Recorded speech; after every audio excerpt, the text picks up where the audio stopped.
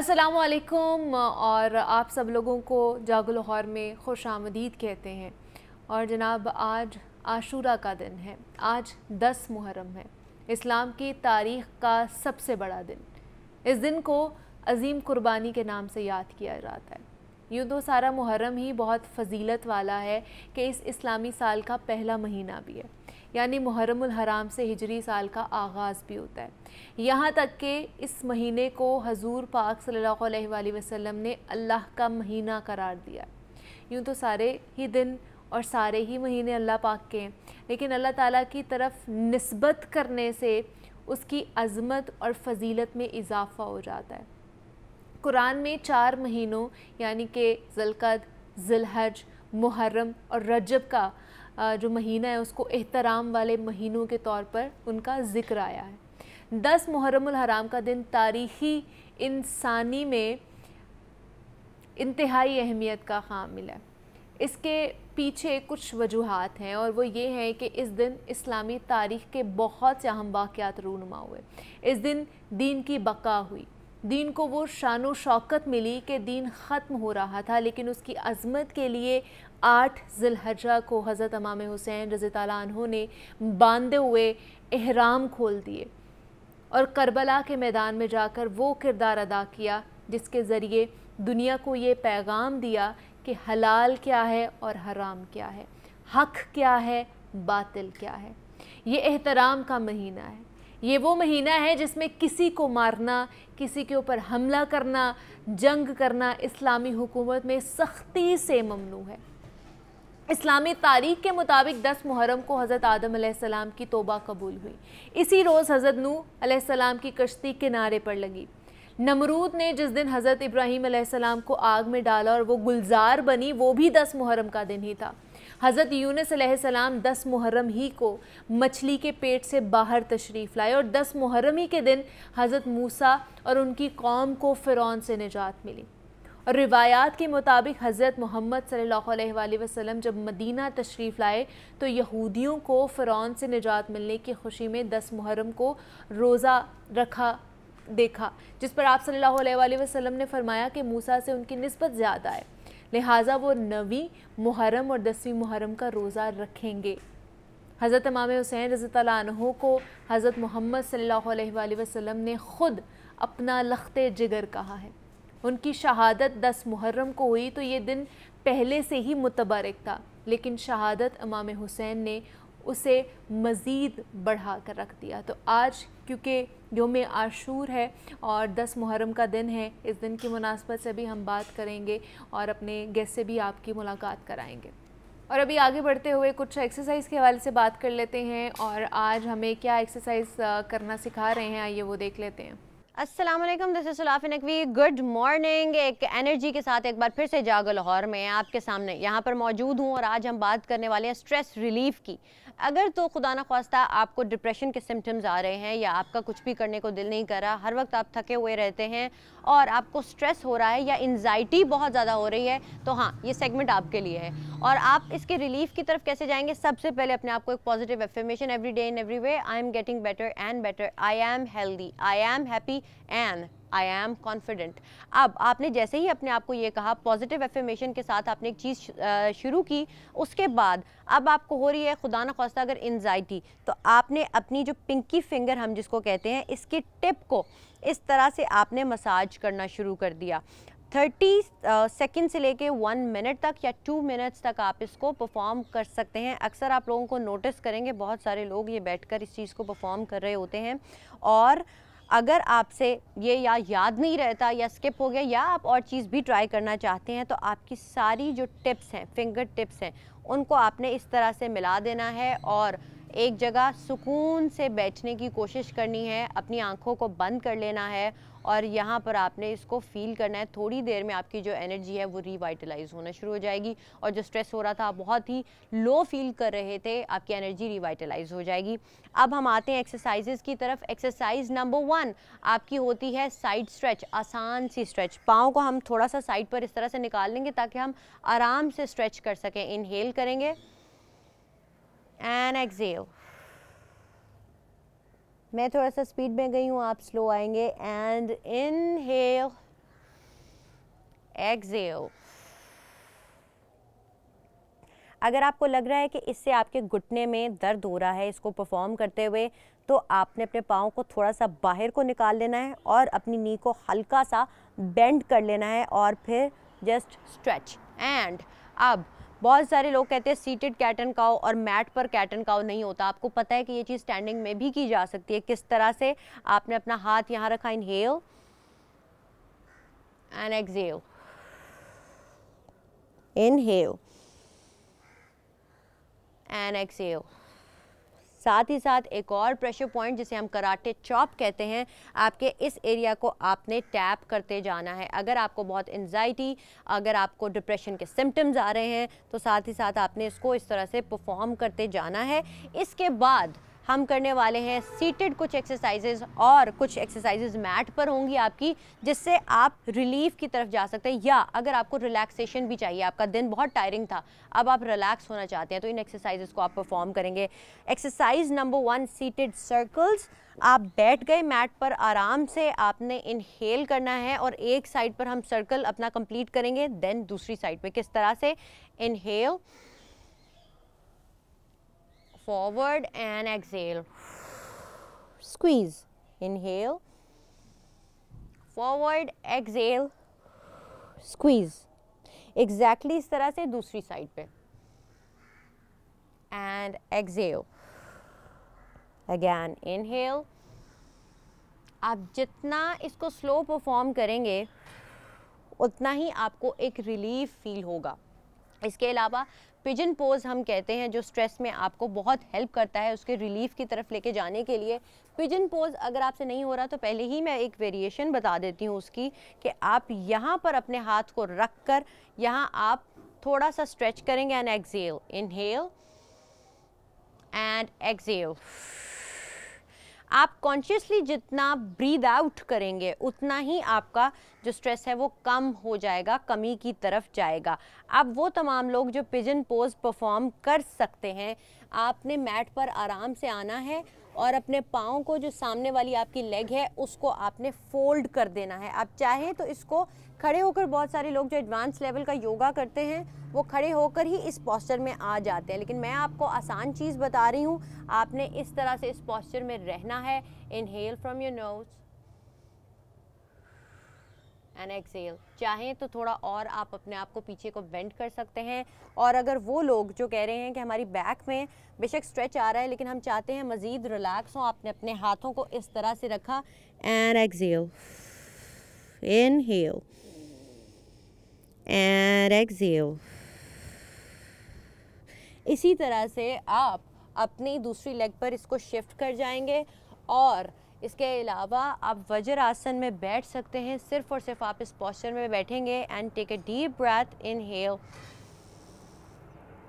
आप थोड़ा सा लेग्स को इसमें वाइड करेंगे ताकि हम चाह रहे हैं आपके मसल्स जो स्टिफ हुए हैं स्ट्रेस की वजह से, वो मज़ीद रिलैक्स हो जाएँ। आपने अपनी लेग्स को वाइड किया, अपने पाँव से थोड़ा सा ज़्यादा वाइड करेंगे। आप समझ लें कि मैट के अंदर अंदर तक रहना है। आपने उतना आपने अपनी लेग्स को वाइड किया। And inhale stretch out exhale यहाँ चाहे कोई क्वेश्चन रख लें, अगर आप बिल्कुल नीचे नहीं जा पा रहे। एंड फॉर वन मिनट आप इसको परफॉर्म करेंगे। रिलैक्स और stretch out inhale from your nose and exhale through your mouth. And exhale. इस तरह से स्लोली स्लोली आप वापस आएँगे। आप अपनी नेक को भी बहुत ज़्यादा आराम से यहाँ पर ट्रीट करेंगे बिकॉज़ नेक का एरिया इतना सेंसिटिव होता है कि यहाँ पर कोई भी खुदा न खास्ता स्ट्रेन या स्पाजम आपको आ सकता है। अब आपका माउंटेन पोज हम जिसे कहते हैं in stretch out for six seconds and then exhale आप चाहें तो फॉरवर्ड बेंड भी आप इसके अंदर ऐड कर सकते हैं, लेकिन मैं आपको बिगिनर लेवल बता रही हूँ इनहेल एंड and exhale. और नेक्स्ट सर्कल्स मास्टर एरिया को हम टारगेट करेंगे. slowly, slowly, up and down, up and down. Cat and cow. And exhale. Inhale. And exhale. और इसके साथ आप साइड स्ट्रेच ऐड कर सकते हैं, लेकिन हम इस एक्सरसाइज को, जो एंड करेंगे सेशन को एंड करेंगे मेडिटेशन पर डीप ब्रीदिंग पर रिलैक्सेशन का कलर या तो ब्लू या ग्रीन उसको इमेजिन करें, या सिर्फ़ breathe in and breathe out breathe in and breathe out कोशिश करें कि ब्रीद करते हुए आपके कंधे बहुत ज़्यादा ऊपर को मूव ना करें अनटिल अनलेस आप शोल्डर श्रक करें inhale keep your back straight and exhale मैं हमेशा ब्रीदिंग पर स्लिप्स के साथ इसलिए बताती हूँ ताकि आप एक्सिलेशन सही से परफॉर्म कर सकें और आपका एक पैटर्न उसका बन जाए ब्रीदिंग का क्योंकि आपकी जो ब्रीदिंग है यानी आपकी सांस है उसका आपकी सोच से गहरा ताल्लुक है। सो आप अगर इसको कंट्रोल कर लेते हैं और उसका एक पैटर्न बना लेते हैं तो आपकी सोच आपके कंट्रोल में काफ़ी हद तक आ जाती है। सो so, स्ट्रेस के जो जो भी स्टिमुलस हैं उनको चेक करें। बहुत सारी चीज़ें अगर आप अवॉइड कर सकते हैं इग्नोर कर सकते हैं तो आप उनको अपनी लाइफ से आहिस्ता आहिस्ता एलिमिनेट करते हुए चले जाएँ और अपने लिए थोड़ा सा वक्त वक्त निकालें मी टाइम हम जिसको कहते हैं उसमें योगा करें एक्सरसाइज करें, अपना कोई भी फेवरेट काम आपका है, वो आप कर सकते हैं। अभी तक के लिए इतना ही। हमेशा खुश रहें और स्ट्रेस फ्री एक्चुअली लाइफ उस तरह होती नहीं है। हमें इसको मैनेज करना होता है, लेकिन जब आप योगा करेंगे तो आपको फील होगा कि आपके अंदर वो हिम्मत आ गई है कि आप अब चीज़ों के साथ डील कर सकते हैं और आपके जो मसल स्टिफ हो गए थे स्ट्रेस की वजह से, वो अब बिल्कुल सही होना शुरू हो गए और आपके अंदर फ्लेक्सिबिलिटी आ रही है। आपके अंदर फिजिकली फ्लेक्सिबिलिटी आएगी मेंटली आप उतना ही स्ट्रांग होते चले जाएँगे। सो योगा के सेशन को ज़रूर प्रैक्टिस कीजिएगा और अपना फीडबैक ज़रूर दीजिए हमें। हमें उसका इंतज़ार रहता है। अभी तक के लिए इतना ही। सुराफ नकवी को दीजिए इजाज़त। अल्लाह हाफिज़।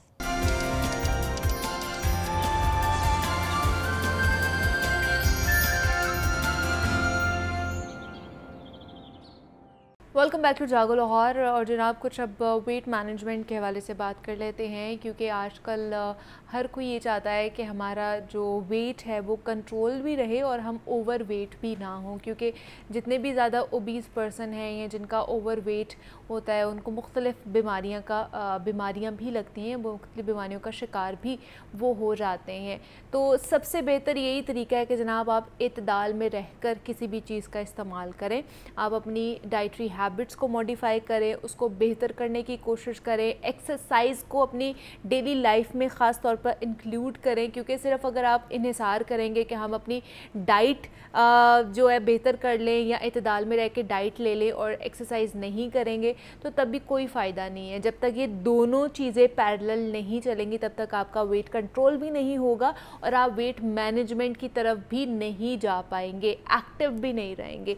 तो आज हम यही बात करेंगे कि हमने किस तरह अपना वेट लूज़ करना है वेट लूज़ जर्नी किस तरह हो सकती है? क्योंकि जब हम क्रैश डाइट्स की तरफ़ भी जाते हैं वेट लूज़ जर्नी की तरफ़ भी जाते हैं तो हम हर चीज़ छोड़ देते हैं। हम किसी एक स्पेसिफिक ग्रुप का जो है ना इनटेक करना शुरू हो जाते हैं तो उसकी वजह से भी बहुत ज़्यादा प्रॉब्लम्स हेल्थ के जो प्रॉब्लम्स हैं कॉम्प्लिकेशंस हैं, वो आना शुरू हो जाती हैं, ख़ासतौर पर लड़कियों को। तो वो क्या क्या चैलेंजेस हो सकते हैं क्या क्या कॉम्प्लिकेशंस हो सकती हैं और अगर आपने वेट लूज़ करना है तो वो किस तरह हेल्दी वे में कर सकते हैं। और इस पर बात करेंगे इस पर बात करने के लिए अमारा मुजाहिद हमारे साथ स्टूडियोज़ में मौजूद हैं जो कि क्लिनिकल न्यूट्रिशनिस्ट एंड डाइटिशन हैं। हमारा आपको वेलकम कहते हैं जागो लाहौर में कैसी हैं आप? अलहमदिल्ला मैं बिल्कुल ठीक आप कैसी मैं भी बिल्कुल ठीक ठाक हमारा सबसे पहले तो बताइए कि ये वेट मैनेजमेंट या वेट मेंटेन रखना कितना ज़रूरी है और कौन कौन सी बीमारियों से बचाता है ये हमें? देखिए वेट मैनेजमेंट सबके लिए बहुत ज़्यादा अहम है because weight is not just associated with your appearance अगर आप इस पर कंट्रोल नहीं करते ना तो ये आगे जाके आपको काफ़ी क्रॉनिक कंडीशंस की तरफ़ ले जाती है। अच्छा। अब क्रॉनिक कंडीशंस में डायबिटीज़ है टाइप टू स्पेशली इसके अलावा हाइपरटेंशन है यूरिक एसिड है कोलेस्ट्रोल का ज़्यादा हो जाना। तो ये चीज़ें ऐसी हैं जो आपके लाइफस्टाइल से डायरेक्टली एसोसिएटेड हैं हम्म, हम्म। तो फिट रहना वेट अपना कंट्रोल रखना is a very essential part लेकिन आपको पता होना चाहिए कि अब आपका आपका वेट कितना होना चाहिए आप किस कैटेगरी में आ रहे हैं तो आपका वेट ज़्यादा है हमारे यहाँ ना स्टैंडर्ड थोड़ा डिफरेंट है हमारी माएँ भी बहुत कंसर्न होती है ना कि बच्चा अगर थोड़ा मोटा मोटा नज़र आ रहा है या तो उनको लगता है सही है हेल्दी हाँ। है हालाँकि वो थोड़ा सा मोटापा होता है वो अच्छा। हेल्दी नहीं होता तो आपको इंडिकेटर्स पता होने चाहिए। इसके लिए हम एक टूल यूज़ करते हैं जिसको हम बीएमआई कहते हैं। B M I is body mass index ये आपकी हाइट और वेट की रेशो होती है। तो वेट कितना होना चाहिए? ये आपकी हाइट के मुताबिक ये इसको हम सिलेक्ट करते हैं। For example if your five three पाँच फुट तीन इंच हाइट है आपकी उस हिसाब से आपका वेट जो है 55 तक 50 तक नॉर्मल है। अच्छा। अगर इसी में आपका वेट 60 या 65 है तो आप ओवर वेट हैं। okay. तो इन सारी चीज़ों के बारे में ना मेरे ख्याल से थोड़ी सी अवेयरनेस होनी चाहिए थोड़ा सा लोगों को पता होना चाहिए। hmm, और ये आप बड़ा इजीली घर पे भी ये चेक हम्म, हम्म। कर सकते हैं अपना बी एम आई कि आपका है क्या? आजकल वैसे भी एप्लीकेशन इस तरह की ऐप्स मौजूद है जो आप अपने फ़ोन में करके तो उसको यूज़ कर सकते हैं। तो फिर किस तरह मेंटेन किस तरह की डाइट होनी चाहिए किस तरह हम लोग अपनी वेट लूज़ जर्नी को स्टार्ट कर सकते हैं? अच्छा देखिए दो चीज़ें एक वेट लूज़ करना और एक वेट मेंटेन हाँ. करना ठीक है लूज़ करना मुश्किल चीज़ नहीं है मेंटेन करना थोड़ा सा लोगों के लिए मुश्किल हो जाता है वो लूज़ करके वापस गेन कर लेते हैं। उसकी वजह ये है कि वो स्पेसिफिक पीरियड के लिए स्ट्रिक्ट डाइट्स वगैरह पे आएँगे एक्सरसाइजेस करेंगे उसके बाद वो वापस अपने नॉर्मल लाइफस्टाइल पे आ जाते हाँ. हैं। जिस तरह उनका खाना पीना है। डाइट इतना मसला नहीं करती जो हमारा सेडेंट्री लाइफस्टाइल है ना ये बहुत ज़्यादा इशू करता है। नाइन टू फाइव जॉब्स हैं सबकी ऑफ़िस वर्क है फिर गाड़ी चला के जाना है उधर भी बैठना है फिर हम्म। गाड़ी पर वापस आना है। इस सब में आपकी फ़िज़िकल एक्टिविटी जो है वो निगलेक्ट हो जाती है। तो इसका तरीका ये है कि आप जो अपना इनटेक है और एक्सपेंडिचर है उसको बैलेंस आउट करें ज़्यादा मुश्किल नहीं है।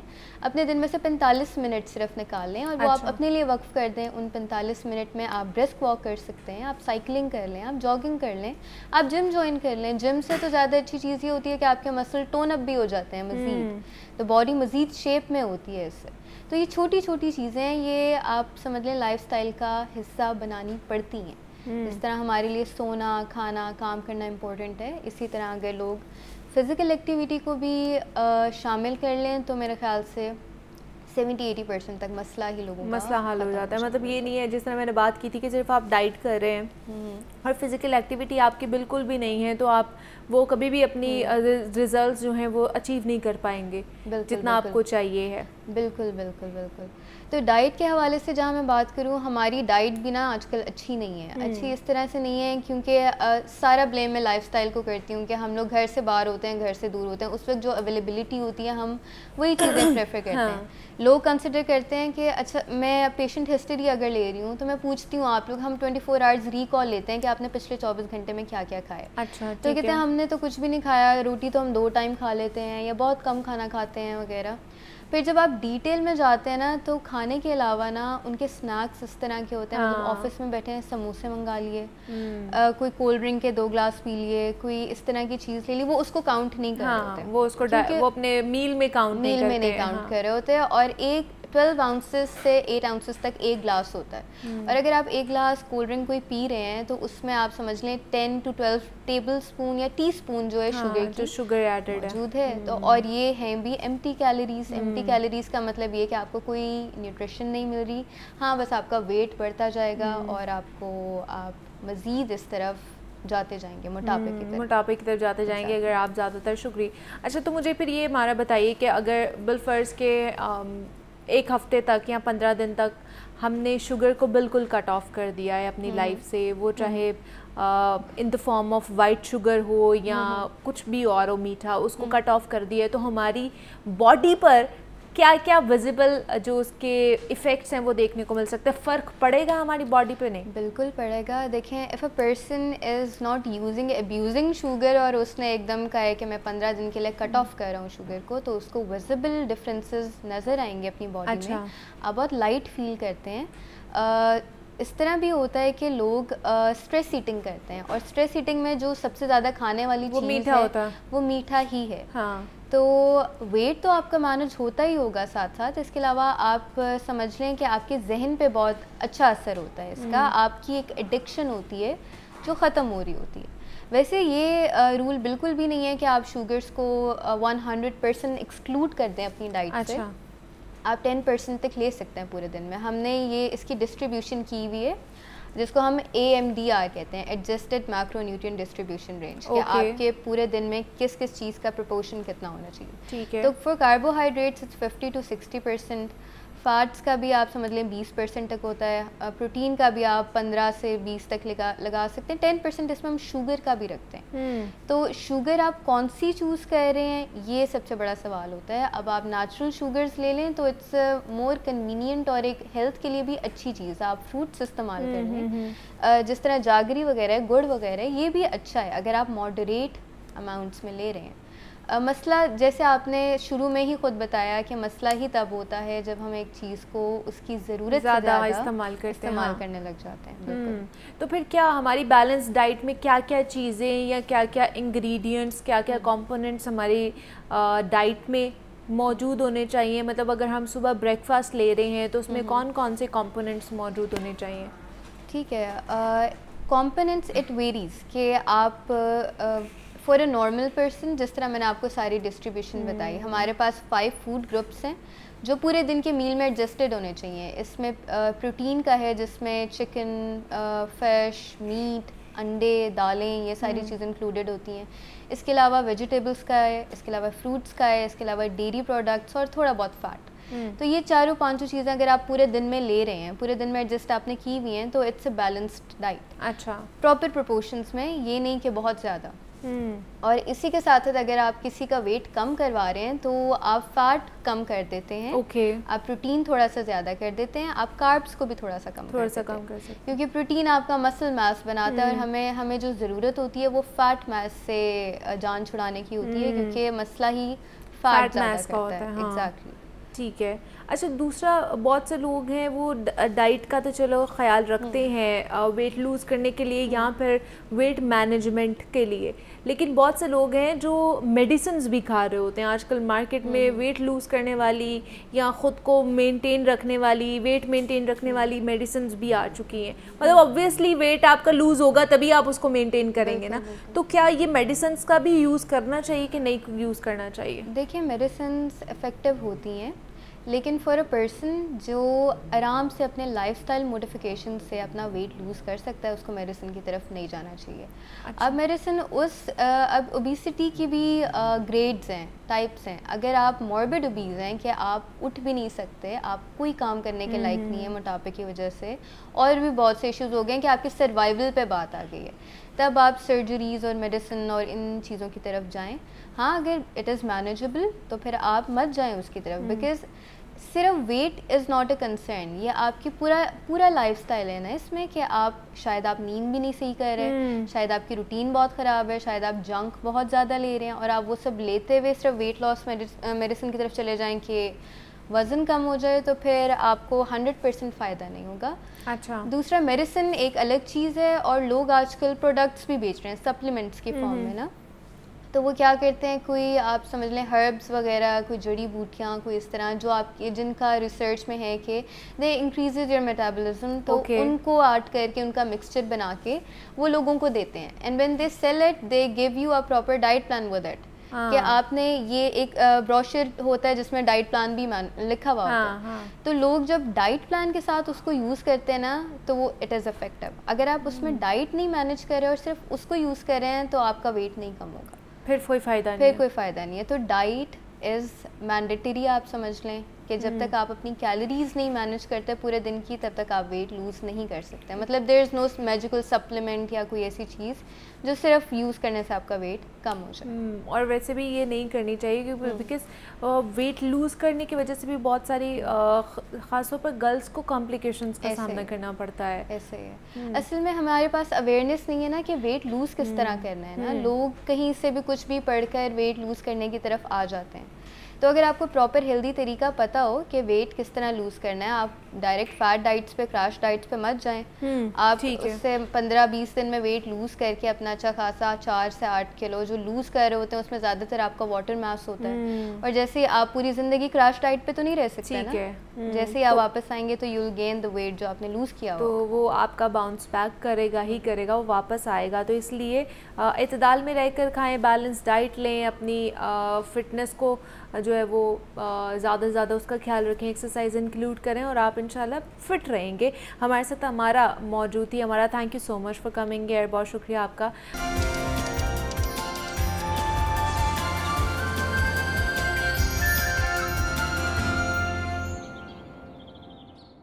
डॉक्टर साहब, आपकी तरफ़ आना चाहूँगी। मुझे ये भी बताइएगा, इमाम अली मकाम सैदना इमाम हुसैन रज़ी तु ने यजीद की बैत क्यों नहीं कबूल की थी? क्या वजह थी इसकी? जी, ये बड़ा बामकसद सवाल है और मैं ये समझता हूँ कि अगर इस सवाल का जवाब हम तक सही अंदाज में पहुँच जाए और हम इसे समझ जाएँ तो फिर पूरा वाक़ करबला, उसकी अहमियत और फिर उसकी जो कदर मंजरत है, वो कई गुना हमारे दिल में जो है वो बढ़ जाया करती है। आप ये देखिए ना कि जिस वक्त हज़रत इमाम हुसैन रज़ी अल्लाह तु को यजीद की तरफ़ से बैत के लिए कहा गया तो आपने एक तारीख साज अमर हो जाने वाला फ़िक्रा कहा। वो एक फ़िक्रा जो है, मैं ये समझता हूँ कि इस पूरे वाक़े की तरफ़, उस पूरे वाक़े की रूह इस एक फ़िक्रे के अंदर मौजूद है। आपने फरमाया कि मुझ जैसा, उस जैसे की बैत कैसे कर सकता है? इसका मतलब क्या है? हज़रत इमाम हुसैन ने यहाँ पर अपना और यजीद का तकाबुल पेश करते हुए, ज़ाहरी तौर पर तो ये दो शख्सियात के दरमियान तकाबुल पेश किया है, लेकिन हकीकत में ये दो निज़ाम और दो नज़रियात के दरमियान तकाबुल है। आपने ये बताया कि एक किरदार इस इस सारे मामले के अंदर बैत के मरहले में एक किरदार जो है वो हज़रत इमाम हुसैन की शक्ल में है जिसकी तरबियत सरकार दो आलम सल्लल्लाहु अलैहि ने कर रखी है जिसके घराने को अल्लाह तमाम तर आलू, आलूदगियों और आयशों से पाक होने की बशारत देता है ज़मानत देता है जिन्हें अल्लाह के रसूल अलैहि वसल्लम अपने पसंदीदा और महबूब हस्तियों के तौर पर अल्लाह की बारगाह में पेश करते हुए दुआ करते हैं कि परवरदिगार, मैं इनसे मोहब्बत करता हूँ, तू भी इनसे मोहब्बत कर। और जो जो इनसे मोहब्बत करते हैं तू भी उनसे मोहब्बत कर और जो इनसे बुग्ज और अदावत रखते हैं, तू उनसे अपनी शान के लायक मामला फरमा। तो आप इससे अंदाज़ा लगाएँ कि आपने बताया कि एक तरफ़ वो हुसैनी किरदार मौजूद है, जिसकी तरबियत सरकार दो आलम अलैहि वसल्लम ने कर रखी है, जिसने जनाब सैदा फ़ातमा तो ज़ारा सलाम की पाकिज़ा आगोश के अंदर जो है वो आँख खोली। जिन्होंने जनाब अली करमुल्ला करीम से ज़िंदगी करने का करीना और सलीका सीखा, जिनके घर के अंदर कुरान उतरता रहा, जिनके घर के अंदर जब्राइल जो है वो खिदमतगार के तौर पर पेश होता रहा, ऐसी इज़्ज़त माब शख्सियत जिनका ज़ाती हवाला हस, नसब के अतबार से ऐसा आला आरफा है, वहीं पर वो इसके साथ साथ तकवे के अतबार से भी एक बेहतरीन हस्ती हैं। अल्लाह के निज़ाम को अपनी ज़ात पर नाफिज करने के हवाले से भी, अपने गिरदो पेश पर उसके नफाज के हवाले से भी एक बेहतरीन शख्सियत हैं, जिन्हें हम रसूल अल्लाह सल्लल्लाहु के लाए हुए पैगाम की मुकम्मल तौर पर, अमलदार हस्ती के तौर पर जो है वो तारीख़ पहचानती है। एक तरफ़ वो किरदार है और उनके बिलमुकाबल एक ऐसा शख्स है जिसकी शहरत हलाल को हराम और हराम को हलाल करने की नस्बत से है। और दूसरी तरफ़ एक ऐसी शख्सियत है कि जो, जिसका शोहरा ये है कि वो हलाल को हराम और हराम को हलाल करार देना चाहता है, जो हरमत और कुर्बत के रिश्तों के साथ निकाह को रवा और जायज़ करार देने की मुहिम चला रहा है, जिसके नज़दीक नमाज़ का तर्क करना एक मामूल का अमल है, जिसके यहाँ शराब एक आम मशरूब के तौर पर ज़िंदगी का हिस्सा बन चुकी है, जिसके यहाँ रक्स व सुरूर और बेहयाई की तरगीब जो है वो, उसके गोया महल से जो है वो लोगों तक पहुँच रही है और वो उसकी तायद करता हुआ नज़र आता है। माशरे के सबसे बदकुमाश लोग जिनकी सबसे बुरी शहरत है, वो उसके हल्के अहबाब का हिस्सा है और उसके मुशीर के तौर पर उसके साथ है। तो ये दो अलग अलामतें हैं। एक यजीद के तौर पर ताबूत की अलामत है और एक रहमानी क़वतों की, अल्लाह की मंशा के मुताबिक ज़िंदगी गुजारने की ख्वाहिश और निज़ाम की अलामत हज़रत इमाम हुसैन की शक्ल में हुसैनीत की शक्ल में मौजूद है। और तारीख़ हमें ये बताती है कि ये इंसानी तारीख़ के अंदर शुरू से लेकर आज तक ऐसा ही रहा कि एक कुत जो है वो सैनी कुत के तौर पर मौजूद रहती है, जो खैर पर लोगों को आमादा करती है और खैर की तरफ़ बुलाती रहती है और ख़ुद खैर पर कायम रहते हुए खैर का दिफा करते हुए नज़र आती है और उसके बिलमुकाबिल एक दूसरी कुत हमें नज़र आती है, जो शैतान की तरफ़ से तायद याफ्ता होती है, जो शैतान का लाया हुआ निज़ाम उसे इस धरती के ऊपर कायम करने के लिए मामिन और मददगार बनती है। सो इनके दरमियान हर ज़माने में तसादम रहता है। इससे पहले भी तारीख़ में कई वाक़ात हमें इस शक्ल में मिलते हैं। हैं। कहीं हमें जनाब इब्राहीम सलाम अपने ज़माने के नमरूद से टकराते हुए नज़र आते हैं, कहीं मूसा सलाम अपने ज़माने के फ़राइन जो हैं उनके साथ टकराते हुए नज़र आते हैं और कहीं ख़ुद सरकार रसालत माब अलैहि वसल्लम की ज़िंदगी में मुशरकिन मक्का की शक्ल में जो उस वक्त की एक ताऊती कुत थी, वो सारी की सारी रसूल वसल्लम के बिलमुकाबिल हमें खड़ी हुई नज़र आती है। बिल्कुल इसी तरह दीन के गलबे के बाद हज़रत इमाम हुसैन की शख्सियत की शक्ल में हमें खैर पर एक इस्तारा नज़र आता है और उसके बिलमुकाबिल एक ताऊत का, बदी का अल्लाह की नाफरमानी का और अल्लाह के फ़रामीन से बगावत का एक इस्तारा यजीद के तौर पर नज़र आता है। हज़रत इमाम हुसैन ने रहती दुनिया के सारे इंसानों को ये पैगाम दिया कि कोई शख्स ज़ाहरी तौर पर कितना ही उसका होलिया, जुब्बा व दस्तार उसका दावा दीन के साथ वाबस्ता क्यों ना हो? अगर वो दीन की बुनियादी रूह से मुतसादम है, उसका अमल, उसका फ़ेल, उसका कौल दीन और रसूल अल्लाह सल्लल्लाहु अलैहि वसल्लम के लाए हुए पैगाम के ख़िलाफ़ गवाही देता हुआ नज़र आता है। तो आपने उसके ख़िलाफ़, क्योंकि वो दीन के साथ जुल्म का मरतकब हो रहा है, माशरे के अंदर जुल्म के राइज करने के लिए अपनी तोानाई पेश कर रहा है। सो आपने उसके ख़िलाफ़ ऐसे ही नबरदाजमा होना है, जैसे एक खालिश ालिम के ख़िलाफ़ नबरदाजमा होना है। खा वो ज़ाहरी तौर पर कलमे की चादर लपेटे ही क्यों ना मैदान के अंदर आ रहा हो। सो वाक़ करबला से हम तक ये एक बहुत नुमाया हवाला पहुँचता है कि किसी दर्जे का भी ालिम जो है, उसके ख़िलाफ़ आपने मैदान अमल में उतरना है। खा वो वक्ती तौर पर आपका अपना हम कलमा ही क्यों ना हो, आप जैसा कलमा पढ़ने वाला ही शख्स क्यों ना हो। अच्छा दूसरा ये ये भी मुझे बताइएगा, कहा जाता है कि इस्लाम ज़िंदा होता है हर करबला के बाद। इसका मतलब क्या है? इसमें कोई दो राय नहीं कि हज़रत इमाम हुसैन रज़ी अल्लाह तु और आपके रफ़ा की कुर्बानी हर ज़माने की हुरियत पसंदों के लिए मीनार नूर है और हम ये जानते हैं कि दीन इस्लाम की पूरी तारीख़ी इसार और कुर्बानी की तारीख़ है। लेकिन जिस अंदाज़ में हज़रत इमाम हुसैन ने कुर्बानी की सारी डायमेंशनस को अपनी एक कुर्बानी के अंदर समेटा है, इससे पहले आप तस्वुर कीजिए कि पूरी इंसानी तारीख़ में अल्लाह के रस्ते में कुर्बानियाँ देने वालों की, कुर्बानियों की जो अकसाम भी हमें मैसर आती हैं, वो सारी की सारी अकसाम इस एक कुर्बानी के अंदर नज़र आती हैं।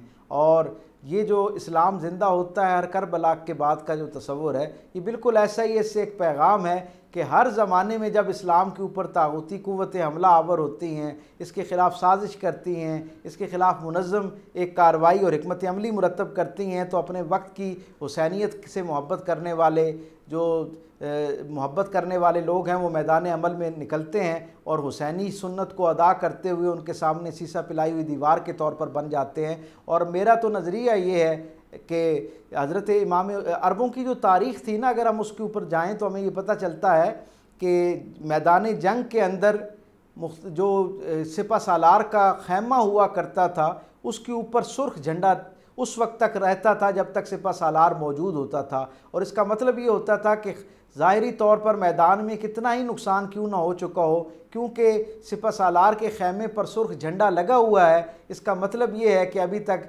जंग जो है वो ख़त्म नहीं हुई है और ये जंग अभी जारी है और इसमें किसी ने, किसी की शिकस्त या फतह नहीं हुई है। आप ये देखें कि हज़रत इमाम हुसैन रज़ी अल्लाह तु के मज़ार अकदस के ऊपर लगा हुआ वो सुर्ख झंडा मुझे यूँ लगता है कि अलामत है कि जैसे हज़रत इमाम हुसैन, जो इस काफ़िला हुर्रियत के सिपा सालार हैं, उनके खैमे पर आज भी इतनी सदियों के गुज़रने के बाद भी सुर्ख झंडा मुझे और आपको एक हौसला देता हुआ नज़र आता है कि हमारा सिपा सालार इस ताऊती कुत और जुल्म के निज़ाम के ख़िलाफ़ आज भी इस काफ़िले की क़्यादत करते हुए सिपा सलारी करते हुए हमारे दरमियान मौजूद है। उनकी रूहानी बरकत उनका पैगाम उनके किरदार से आने वाली रोशनी हमारी ज़िंदगियों को रा, रास्ता दिखाने में मददगार और मुआवन साबित होती है। और हक़ और बातिल के दरमियान ये जंग आज भी इसी तरह जारी है, जैसे इकसठ हिजरी के अंदर मैं करबला के उस रेगज़ार के अंदर मौजूद थी। सो, जब जब इंसानी तारीख़ के अंदर इंसानों के दरमियान हक और बातिल के दर, के हवाले से मार्का होगा, सारे अहलियान हक की सिपा सलारी की जो इज़्ज़त है अल्लाह रब्ज़त की तरफ़ से, वो हज़रत इमाम हुसैन के किरदार की शक्ल में और आपकी कुर्बानी की शक्ल में कायम रहेगी। ठीक ठीक है, बेहतरीन। थोड़ा सा किताबों के हवाले से भी आ, मैं बात करना चाहूँगी कि किन किन किताबों ने वाक़ करबला की तारीख़ी और अदबी अहमियत को दुरुस्त उजागर किया है उस हवाले से भी थोड़ा सा बता दें हमें। अजीब आ, उस वक़्त जो हालात थे तारीख़ ज़ाहिर है हमारे पास कई हवालों से आती है और इसमें हर तबका फ़िक्र ने अपने अपने तौर पे कुछ रिवायात कबूल की हैं और कुछ रद्द की हैं। तो बिल्कुल एक जो मुतफ़ा अलह आप समझ लें। वो ये बात है कि शख्सी हकूमत या इम्पीरियलिज़म या बादशाहत का निज़ाम वो ना आए क्योंकि इस्लाम जैसे कायद अज़म ने भी फरमाया था कि इस्लाम की रूह जो है वो जमहूरी है। तो उसमें साहिब राय जो हैं, उनकी राय होनी चाहिए और उससे फिर आपका जो हुक्मरान है वो मंतखब हो। तो जबकि यहाँ से ये सूरत हाल बन रही थी कि कहीं ऐसा ना हो कि ये फिर जो नस्ली जो होती है, नस्ल दर नस्ल जैसे ये खिलाफत चलती है, बादशाहत का जो मामला है, वो ना शुरू हो जाए। एक बात, सबसे बड़ी बात, लेकिन इससे भी बड़ी बात ये थी कि वो पैगाम जिसको कैरन आर्मस्ट्रांग ने बड़ी खूबसूरती से लिखा कि अरब में आज तक तो ब्लड की बुनियाद पे खून की बुनियाद पर कबाइल होते थे नस्बी कबाइल होते थे। फ़लाँ बनू फ़लाँ है और फ़लाँ बनू फ़लाँ है। ये पहली बार हुआ जब हिजरत मक्का हो रही थी तो आसमान की आँख ने पहली बार देखा कि अब के ये जो कबीला नया बना है कबीला मोहम्मदी इसकी बुनियाद खून नहीं है बल्कि नज़रिया है कलमा। तो ये पहली बार हुआ उस खत्े पे। तो आ, यही बुनियाद है जी। नबी करीम वसल्लम पर जितनी सख्तियाँ आईं, वो चाहे अबू लहब की कम ज़रफ़ी की वजह से आईं या अबू जहल की जो ताकत परस्ती की वजह से आईं या ताइफ़ के लोगों की जो सरकशी की वजह से आईं, वो तमाम सख्तियाँ आज जनाब वसल्लम ने तोहीद की वजह से बर्दाश्त की। और यही बात आपने अपने तमाम आने वाले जो मौजूद जो सहाबा कराम थे, उनको भी और आने वाले उमती उन तक भी तोहीद की हिफाजत हर कीमत पे करनी है, यही सिखाया। तो इमाम आली मुकाम के सामने जब ये, उनका ये ख्याल था कि तोहद का जो मामला है, कहीं वो कंप्रोमाइज़ ना हो रहा हो तो आप उठ खड़े हुए। और ये शान नवा नवासा रसूल नहीं थी तो फिर क्या थी कि तोहद जब कंप्रोमाइज़ होने लगे आपके ख्याल में तो आप क्यों ना उठें? क्योंकि तोहीद एक ऐसी चीज़ है जो हर नबी ने जिसका दरस दिया। हमने रमज़ान शरीफ में इन्हीं प्रोग्राम्स में कसुलम्बिया पेश किया और यही नतीजा निकाला कि वो सैदना आदम सलाम से लेकर बीच में तमाम अम्बिया का एक ही मसला था कि बुत परस्ती नहीं। इलाह बस एक ही है और खुदाए वाहिद है और उसी की पूजा करनी है, प्रस्तिश करनी है या अरबी में जिसको इबादत कहते हैं। हम उन्हीं के, उसी के अब्द हैं और उन्हीं की इबादत करनी है और उसी को ज़ेबा है। सरवरी ज़ेबा फ़कत उस ज़ात बेहिमता को है। तो ये था मामला जनाब, कि आपको ये शक गुजरा कि कहीं ऐसा ना हो कि ये जाह परस्ती, जाह तलबी, माल और ताकत, ये सब मुसलमानों को तोहीद के रास्ते से हटाना दें। तो एक तो ये बात है कि इमाम आली मकाम रज़ी अल्लाह तु ने इसलिए यजीद की बैत नहीं की क्योंकि आपको ये लगता था कि आने वाले ज़माने में ये मामला बिगड़ के कहीं तोहद से हटाना दें और बाकी कौमें जिस तरह बर्बाद हुई हैं, शिरक से, ये कौम भी बर्बाद ना हो। दूसरी बात यह है कि इसको इमाम अली मकाम ने इसलिए भी कबूल नहीं की कि उनकी नज़र में उनका आपकी बसीरत ऐसी थी कि हम लोग भी थे और हमारे बाद आने वाली नस्लें भी थीं, कि कहीं ऐसा ना हो कि हवस छुप छुप के सीनों में बना लेती है तस्वीरें, ऐसा ना हो कि हमारे सामने माल हो और एक तरफ़ ताकत हो अहदे हों और एक तरफ़ तोहीद हो तो हम ऐसा ना हो कि तोहद को छोड़ के माल के पीछे चले जाएँ या अहदे के पीछे चले जाएँ। ये ता क़यामत कत कत इस्तबदाद कर, ता क़यामत आपने एक दर्स दे दिया, यजीद की इतात कबूल न करके, कि ना तो तोहीद पर तफवुक हासिल है माल को, ना औलाद को, ना नस्ब को, ना खून को, ना अहदे को, अगर किसी चीज़ को तफवुक हासिल है तो वो तो ही। ठीक है बड़ी अच्छी गुफ्तु रही। पहले तो आप दोनों का बहुत शुक्रिया कि आप दोनों ने हमारे साथ इस ट्रांसमिशन में शिरकत की। डॉक्टर पीर तारिक शरीफ ज़्यादा साहब हमारे साथ मौजूद थे और साथ ही साथ अहमद हमाद साहब हमारे साथ मौजूद थे।